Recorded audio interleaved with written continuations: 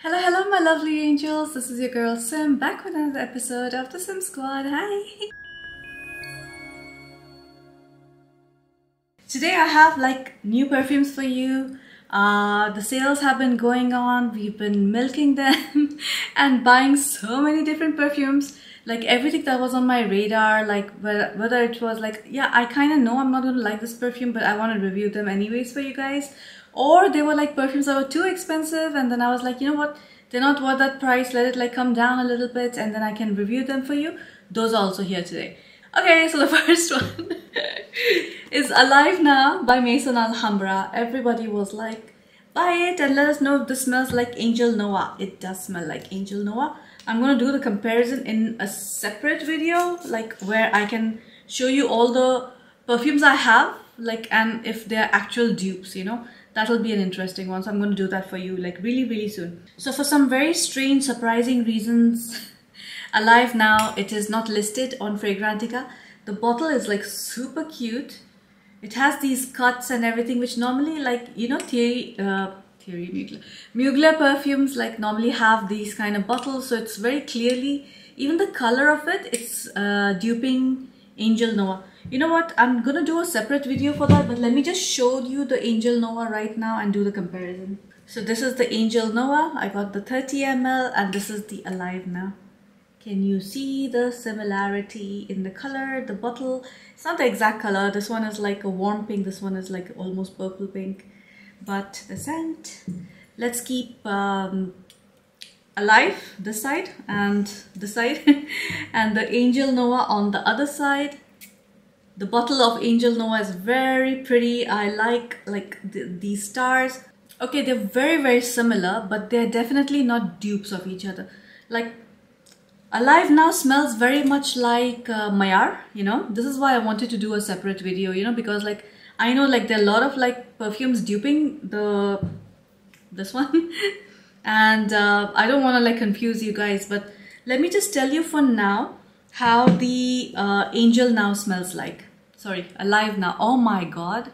Alive Now is in the same family like Mayar. Okay, Alive Now smells sweet lychee kind of rose lychee kind of perfume but like with a green note which is not rhubarb. It smells very fresh. It smells like a bouquet of flowers at the same time but with the green bits in it as well. The top notes for this are Madagascar vanilla, plum, cinnamon, apple and blackcurrant middle notes of jasmine, sambac and thyme, and the base notes of woody notes, sandalwood, cedar and olive tree.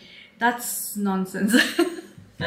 I don't know, it doesn't smell like that at all. Now the problem is like genuinely getting the notes for this, it's like kind of difficult, but I'll try and see if I can find like a comparative note because it smells very close to Mayar, okay, from Lattafa. And if I have to like decide the closeness to Angel Nova, it is there, it's in the same family, but they're not dupes. So this is like the same kind of fragrance which I, exactly how I feel with Mayar. It is pretty, it is very nice. It's a fruity floral, but that green, like a lot of green notes. It smells like freshly cut uh, flower stems. You know, if you know the smell of that, it smells exactly like that. And they are wet, you know, so it has that this little wet greenness, which I don't appreciate. It's kind of almost like uh, freshly mowed grass, but then there are sprinklers going off. And you know that smell that comes out from the grass? It almost smells of that and I don't appreciate that scent. I like the smell of freshly cut grass, but I do not appreciate it in my perfumes.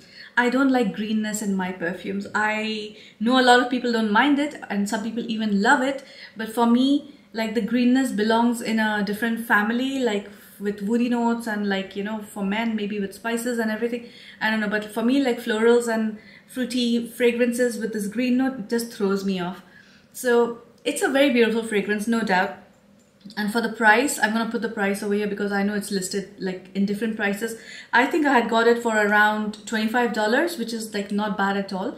But that's a Maison Alhambra perfume. Also, it's like super difficult to find uh, this perfume now because in UAE, at least like Maison Alhambra is like closed, I think and only the ones that are left over, the stocks, those are like going around in the market. So it's kind of difficult to find this one. Do I like it? Uh, I like it as a perfume on other people, but not on myself at all. I would never wear this. I would classify this as a fruity floral. It doesn't have any hints of spices. It has nothing like interesting happening. It's a very flat perfume. It's like a very linear perfume, just like a lot of fruity florals along with uh, the stems. It smells like I've entered a florist shop, you know? Or, you know, when you make these fruit baskets along with like flowers and everything, like to give to someone who's sick in the hospital. you know, it smells like that. It's comforting, it's beautiful, but like, would I wear it? No. But I can see a lot of people wearing this and enjoying it because yeah, it is a nice fragrance. It's just not for me. So let me be fair and give this like a 7 out of 10. Uh, it's definitely spring summer. It's like giving literally, if I say bouquet of flowers or a florist shop, it is like spring. It's like screaming spring and you can wear this in summer as well.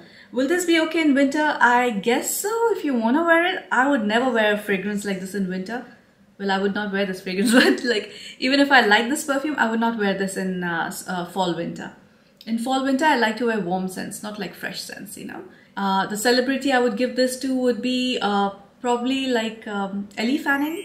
Like this is very like her, like like a princess, a Disney princess, but who's a very young Disney princess, like Snow White, literally because of the apple. I don't know why I, I'm thinking that again. I know I've given her like other perfumes as well that sim smells similar to this. Maybe I had given Mayar to her, I'm not sure. There's no Middle Eastern vibe at all. It's a very uh, fresh floral, so it's it's definitely not giving me any Middle Eastern vibe. The projection would be a good two feet, and uh, the longevity, I guess I would give it like four to five hours of like actual performance, and then it will gradually fade away. So although I'm not going to wear this fragrance, 7 out of 10 is not a bad score actually for a perfume like this. I'm trying to go like to the mildest to the darkest because there's some perfumes in here that are like, you know, crazy insane. And I'm going to save that crazy insane one for the last. Okay, so this is another one that everybody was asking me to review and I was like staying away from it. And my instincts were right. I knew I'm not to like it and I do not like it much. This is Shuhrah by Rasasi. Now guys, I have already sprayed these on my arms and I have smelled them for an entire day but today I'm gonna do it on uh, perfume cards because I don't want to like spray any of these perfumes on myself so this is the bottle. It's very basic. Now the thing is that this is like around $20 or so. It's a very old collection of Rasasi and these are one of their budget perfumes right? So they have like very expensive perfumes and then they have these that are like $15, 20 dollars and uh, they're just okay for day-to-day -day wear. And that's exactly what this is. This is like a day-to-day -day perfume. There are some people who absolutely find this like alluring and beautiful and they like kept telling me like you're gonna love this perfume it's reminding me of some perfume but i'm not sure what it's reminding me of it's classified as a chypre floral and on fragrantica it's got 4.16 which is a good score right uh, it smells like apparently Tom Ford white patchouli. But I don't know why. I feel like I have something like this in my collection. I don't know if it's like Rasasi Sutur scene maybe uh, but something smells like this and I have it or is it uh, I'll, I'll figure it out but this is one of those creamy lotiony kind of scents uh, which are little dark and mysterious. Definitely fall winter. Uh, the top notes for this are sage and lemon middle notes of lily of the valley jasmine and iris and the base notes of patchouli agarwood musk and ambergris. Now yes it sounds very unique and the perfume definitely is quite unique. Maybe this perfume needs to grow on me but like as of now i am not like feeling it you know? Like i think it's a nice perfume but and that's like kind of the case with this entire haul like i like them but I know I'm not gonna wear them. Like it's just gonna be sitting and catching dust, you know? You know, it's like it's bothering me now because I can't figure out what it smells like. And it's smelling so, so strongly of a perfume which I, it's right there at the back of my mind, but I can't, I can't, just can't remember it the first time I smelled it, I was like, oh my god, dirty patchouli. Like that's the first thing that came in my mind. Then comes like sugared lemon. Like like imagine like a candied lemon, actually not even sugared lemon. A candied lemon and then it has that sage, you know? Like it's such a weird mix. But then at the base it has that little bit of oud and then it has these strong florals like lily of the valley jasmine iris you know like iris like tends to make everything a little powdery I don't know about the musk and ambergris. If they're there, they're like they're way at the back, but I can definitely smell like a super dirty patchouli and like a lot of sweetness with the tartness of lemon and and the aromatic of like sage. You know, it's like so strong, so like a little bit obnoxious you know? Like i that's the right word. It's like i feel this is a little obnoxious. You will smell nice and even if you like the smell like i don't know if it's gonna be like a easy blind buy but clearly i'm wrong because on fragrantica it's like 4.16 so people love this perfume and for $20 it's like you can't go wrong with a perfume this strong. And by the way it projects like four feet lasts like six plus hours easily. I think it touches eight hours. So it's is it worth it? Yeah it's definitely worth it. But do try it because i don't think this is a blind buy. This would be like a perfume that you really need to get used to. And even if people are like i can imagine if a girl comes next to me or a guy comes because i feel this is like a unisex fragrance. Leaning feminine like if a guy wears this or a girl wears this around me i'm gonna actually appreciate this on them.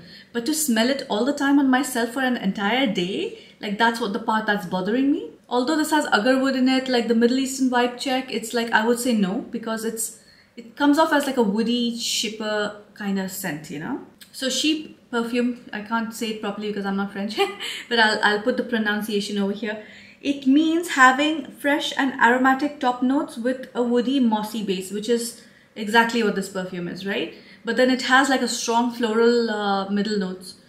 Like again like it's nice but it's like just something i would not wear. I'm gonna give this a 6.5 out of 10 like in my books like this is definitely not something i'll be wearing and i'll probably end up decluttering it like super soon. But as of now no 6.5 out of 10 and the celebrity i'm gonna give this to is lily collins like literally her as well like you can take her to some extent and then after some time it's like an overdose you know let me not hover around perfumes that i'm not actually enjoying too much the next one is from Al Haramain. I kind of have a, like a nice mix of, no actually I have very similar brands. Okay, this is Al Haramain Belle Rouge or Belle Rouge or Bella Rouge. I don't know. Like it's Belle Rouge I think. Uh, this perfume bottle, I love it so much. It's such a cute bottle. So the front part, the rosy part, it's a rubbery, okay? And at the back you can see the name that's the bottle. It's a very cute bottle. Like immediately you're like, because there's a rose on it, you're like, oh my gosh, this is gonna be a rosy perfume. And this is categorized as an amber floral. The sprayer is very directional. Okay, so this is compared to YSL Libre. Now I am a die-hard fan of Libre. So of course I was like, I wanna see this. Now the thing is I have Libre, but I have the uh, Parfum, the Parfum version. And I have a 30 ml because that's the only one I could afford. I'm going to spray both of them and I'm going to tell you if it smells anything like this one. Yeah, they're very similar. Yep, definitely. Like actually I would not say, okay, it smells like Parfum. So I am assuming this is a dupe for the Parfum. Oh my gosh. They're very similar except for the Libre, it has that like freshness that's not present. And freshness and coldness that's not present in Belle, uh, Belle Rouge. But I really like this scent. Like I am definitely to use it. It was dirt cheap. It was like, I bought it for like $16 like that's nothing right and it's a 50 ml i think but like i don't care it's like still i think it's a 50 ml but i don't care oh no it's a 75 ml so that's not bad like for a for a good brand i mean it's like al haramain and like i i thought it was gorgeous you know like the bottle the packaging the perfume so the top notes for this are lemon orange grapefruit mandarin orange and pear uh, middle notes of lavender jasmine rose peach and blackcurrant and the base notes of vanilla, tonka bean, musk, vetiver, sandalwood and cedar. It is so beautiful. Now the thing is like people would reserve this for spring summer. In my opinion, I can wear this in winter as well, but during daytime, you know, fall winter. So I'm to get good use out of this perfume. It smells like fruity fresh, but it's very creamy. It's very creamy, but then it has that lavender. So it's slightly aromatic. It kind of gives it that uh, little tangent from going towards creamy florals, you know? It's like a mix of everything. Like the top notes are super fresh. Like it's all fruits and especially that pear note, which I like in uh, both L'Interdit and in uh, Libre. It's it's like it's it's that fresh note, which I don't know if it's a culmination of all these fresh uh, fruits that I've added in the top note. And the middle note, definitely, it's like uh, lavender, jasmine, rose. It's it's it's very reminiscent of uh, Libre but it has it has this like very nice creamy thing going on in the background which is the kind of deviation from Libre so it's like I would not say it's a 100% dupe but side by side they smell very similar but Belle Rouge like changes during the dry down like even in the middle notes like I can tell you that Libre has that freshness so Libre for me is one of my favorite perfumes the Lit Parfum right it is something when I wear it, I just feel good. I feel it's fresh, it's attractive. It's the same thing I feel with L'Interdit. Now, I know those perfumes are not for everybody. I know not a lot of people don't like Libre. A lot of people don't like L'Interdit, the original, yeah? But for me, these perfumes are like, it feels like a classic perfume. I like this fragrance. Like, I know like a lot of people don't like the lavender in it, but it's, it's a beautifully done lavender. And I don't think it leans masculine at all. Same with Belle Rouge. It's kind of gone. or maybe I'm just becoming anosmic now yeah so the opening is like super fruity super fresh and then like slowly slowly like during the middle notes you get the flowers and it's like creamy flowers but like the stark difference between the opening and the middle base notes it's like so clever and i quite like this perfume so i'll definitely this will probably go into my like uh, summer collection fragrances but i'll be wearing this in winter as well. Plus kudos to the packaging. It looks so cute. I was in the pictures it looked darker and I wish it was a little darker because this orangey red kind of thing is like kind of like those classic lipsticks. But at the same time I know I think I know why they chose this red because of that classic nature of this fragrance you know is it like revolutionary or something no but it I bought it for $16 and I'm assuming it'll be around $20 for you guys so it's not like a very uh, difficult decision it's an easy blind buy for me even if you don't like Libre, I think you're going to like this because this is a little bit deeper, a little bit more creamy, a little bit more, uh, that freshness has reduced quite a bit in the dry down, you know. This for me, surprisingly, in my papers, I have written 7 out of 10, but I'm going to give this an 8.5 out of 10. It's a beautiful fragrance. I am going to get like a lot of use out of it. On Fragrantica, it's got 4.09, which is not like the greatest, but it's still not bad. And it's categorized as an amber floral. And the celebrity I want to give this to was uh, Selma Blair. Bla Selma Blair. Little bit of tongue twister that is, isn't it? Selma Blair, you know, she's like quirky, dark, feminine, but at the same time she has this uh, aura about her which is like classic, you know. You look at her, she has that very classic face. I absolutely love her. Like she, I think she's a very talented actress plus a very strong human being for actually going through what she's going through and being so courageous about it, you know. Middle Eastern vibe check is none. The longevity is like two feet, projection is like six uh, hours at least, if not more. Uh, I'm definitely getting nose blind because when I sprayed it on myself, it lasted the entire day almost. But six hours of decent performance. The next one is another perfume. Everyone was like, get it, get it, get it. And I was like, no, no, no. And then I finally bit the bullet. Again, just because of the sale, you know. I always keep telling people like I'm brown and whenever there's sale I end up buying things I don't need you know it's just a brown thing to do so this is Hawas by uh, I want to say Rasasi yeah Rasasi oh gosh so this is like the season of Rasasi and uh, Al Haramain isn't it the bottle is like cute I don't mind it at all the cap is like very beautiful so this is categorized as a floral and on Fragrantica it's got 4.26 which is a lot.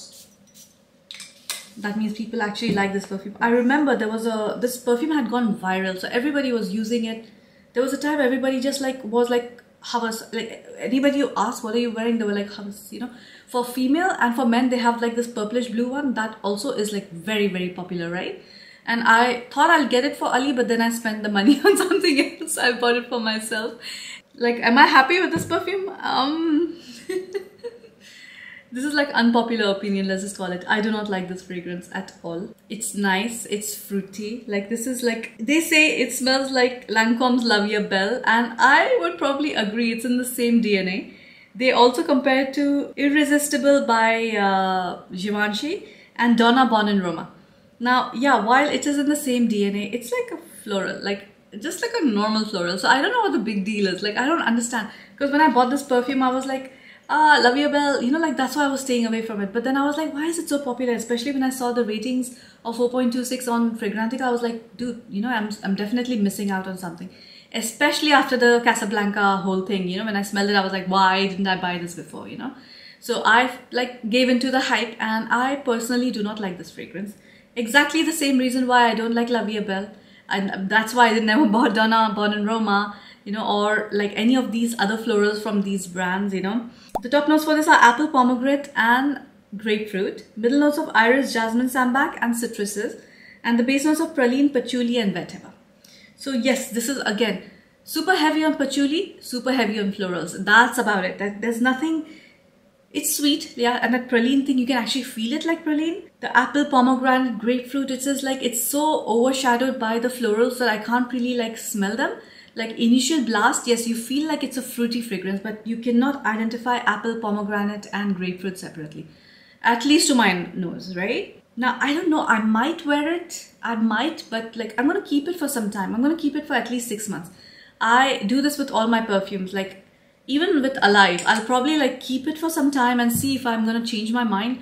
Because sometimes you regret then, you know, like you said, you get rid of a perfume and then you're like, you know what, like I'm kind of liking that DNA and I wish I didn't declutter it, you know. Like I have so many beautiful, beautiful fragrances there. And for me to recommend something to you also, it needs to be super beautiful. Otherwise, I will not like just recommend something that smells like a million other DNAs. And I think that's what is not attracting me because it smells very uh, very generic. I really don't see the appeal in this one. Sorry guys. So this is like an absolute no for me. It's definitely super feminine and it, it retails for $45. So it doesn't come very cheap, but it's one of the cheapies, right? I think this is okay for any weather because it's a floral. Uh, spring, summer, of course, it would shine better, but in winter, also, I don't think it's a bad perfume to wear during winter. The projection is like two feet and the longevity, I would say five hours and then it'll reduce a lot. Performance is not the best, you know, four five hours I would say. My rating for this, it's not a bad perfume, but I would still rate it like 6 out of 10 because of the same tang, same tang, same thing. That's like a generic perfume, so I, it doesn't appeal me at all. And the celebrity I want to give this to was uh, Tessa Thompson. Get the same feeling from her. It's like, I don't know, I don't want to say anything negative about anybody, but like, yeah, it reminds me of her. The Middle Eastern vibe check in that, by the way, is zero. It leans very, very, very Western. Like, think Donna and Roma and La Vie Belle, that family. So if you like those fragrances, if you love those fragrances, definitely go for this. But if you're like me and you do not like those kind of generic perfumes, now last but not the least, this is this was on my radar, right? Like I was like like literally like, you know, I have to buy it, I have to buy it. And I was waiting for the price to go down because Al Haramain, this range, the prices just don't go down. This is Al Haramain Amber Oud, but this is the tobacco edition. The packaging is like stunning. Like Al Haramain, like they know how to do their packaging, right?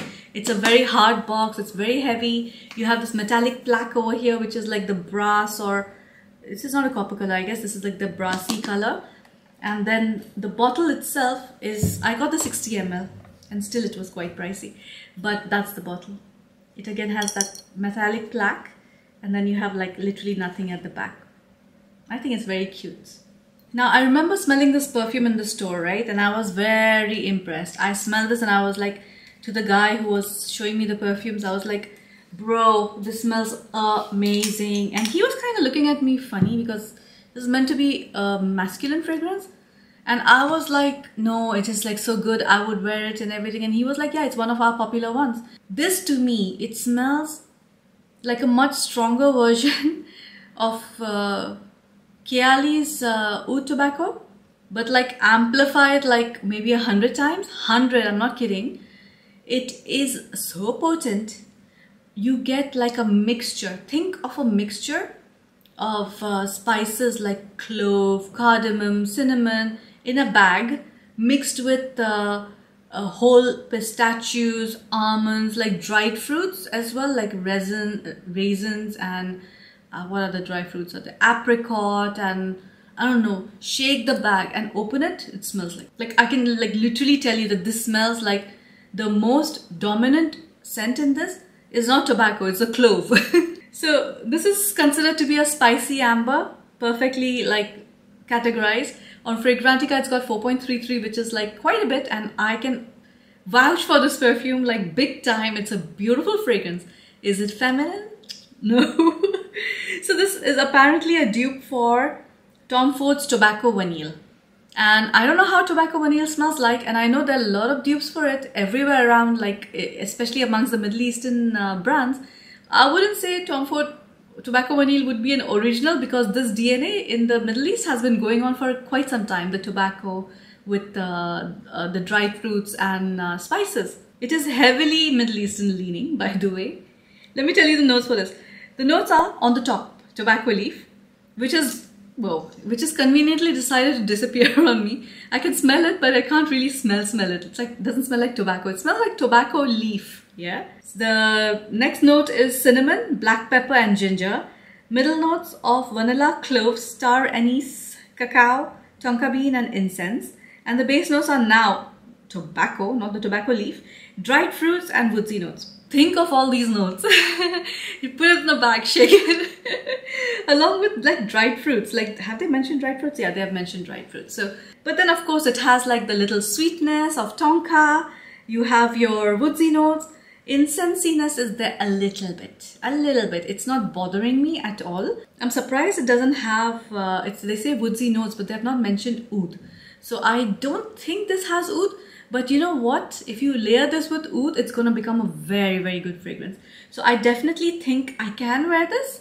It is very masculine, but I will wear it because I loved it. And I will probably layer it with oud and I'm going to wear it. You know what? Let me layer this with Bade'e Al Oud, Oud for Glory and see how it, I, what I feel about it. So I have my Oud for Glory over here. Just going to spray one because that's oud. And this one is your Amber Oud why did they name it Amber Oud when there's no oud in it, you know? See? Oh my god. I found a layering combination. that is stunning. Oh my gosh. Okay, so already on its own, for me, this is a 10 out of 10 fragrance. Like, I have no doubt about it. Like, I'm so happy I bought this. Despite of the eyebrow raises I was getting in the shop, you know, like, what is she doing?